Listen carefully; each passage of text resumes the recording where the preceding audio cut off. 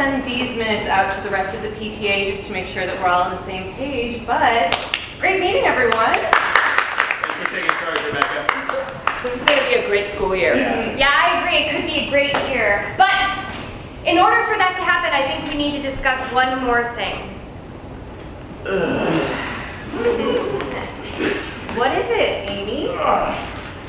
I just think it's time we do something about the well in front of the school. Students keep falling into it. Right. There's an old-timey stone well in the front courtyard and kids keep falling into it. That's just the way it is. Always has been, always will be. There's really not much we can do about it. I know, I know, but we could fill in the well. Could fill in the well? But we like it. I know, but students keep getting hurt. Right. The well doesn't hurt people. The stone walls ricochet as you fall down the well. We, oh, I know that you're new, and so you just might not like get it. But this very deep, very dark, very scary well, it's just, it's important to people. Yeah, we love to wish. You're telling me I can't pennies down a wishing well because a few dozen kids fell down it? How the hell else am I gonna find a husband? Frankly, I think it's inappropriate to be discussing this right now. Three kids just fell into that well yesterday. You know what? I agree. Now is not the time.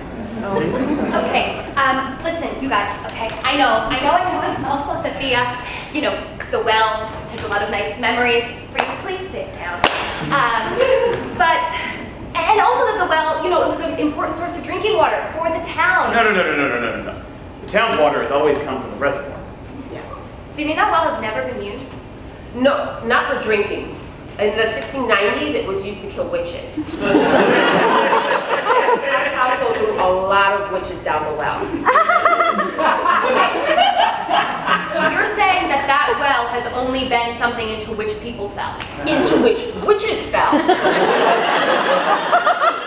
Actually, you know what? I have a compromise, okay? How about we build a bigger, deeper well next to the original well? Yeah, okay, and what would that do, Steve? I don't know, I just sell wells. Okay, if we cannot make any progress on the wells, can we please do something about the live electrical wire dangling at the front entrance then? God, it's like you hate adventure. We need those. They are an important line of defense for the school. Besides, wires don't hurt people. Electricity hurts people.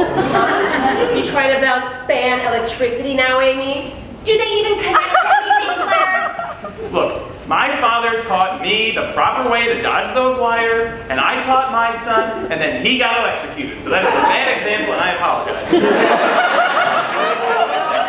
I feel uncomfortable talking about this after all those kids were electrocuted. Yeah, me too. You know, I think the best thing that we can do right now is to keep those kids and those electrical wires in our thoughts and prayers. now is not the time for petty disagreements. Okay, no, no, no, no, no. Are you guys serious?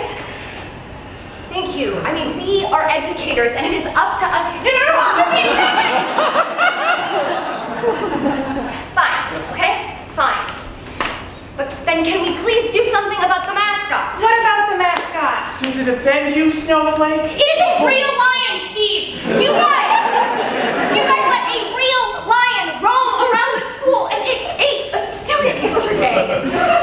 Can we please get rid of him? Lions don't kill people. Yes! Yes, they do, Claire, and they did. So can we please get rid of him? No! Why not? Because then he would be out of a job.